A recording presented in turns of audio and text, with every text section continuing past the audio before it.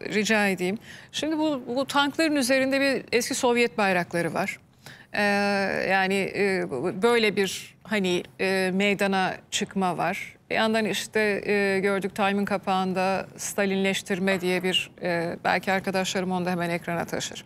E, yani o dönemde e, nasıl Stalin vakti zamanında soykırımda dahil olmak üzere Ukrayna'yı ezip geçtiyse işte de evet e, Stalinleştirilmesi Rusya'nın.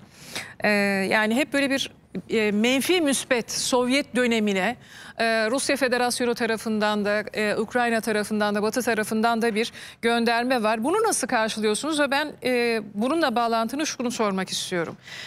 Yani NATO destek vermiyor. E, Memped vereyim sana diyor. İşte tank savar vereyim diyor. E, e, ama işte savaş e, uçağı istiyor musun? E, yok sana veremem savaş uçağı. Nihayetinde bu benim Rusya ile direkt e, savaşmam manasına gelir. Bu 3. Dünya Savaşı'dır vermeyeceğim. Hava sahasını yok kapatmayacağım. Sen böyle git ama çok çok kahramansın. Yani harikasın sen devam et de, diye verilen bir destek var. Şimdi böyle bakıldığı zaman e, Rusya'nın kendisi özellikle şu anda durmadığı zaman e, savaş kabiliyeti olarak sahada ezip geçmesi mukadder midir? E, şimdi şöyle söyleyeyim yani e, çok büyük bir şekilde kendisi de zayiat verecektir. Çünkü Verir, e, peki. genelde e, buraya sevk ettiklerinin kimler olduğunu söyledim. Sadece yönetici komuta makamları genelde Ruslardan kaynaklanıyor. Diğerleri Evet. sağdan soldan topladığı ve özellikle işte Rusya içerisindeki Türklerden topladıkları yapılarla saldırıya geçiyor. Şimdi e, bu Stalin'le e, efendim Putin'in konuşmaları e, yani sonucunda e, Stalin'in düşünceleri Putin'de var olduğunu gösteriyor. Yani eski Sovyetler Birliği'ni kurma düşünceleri var. Yani bugünkü Türk Cumhuriyetleri de tehlikede manasında olduğunu söylemek istiyorum.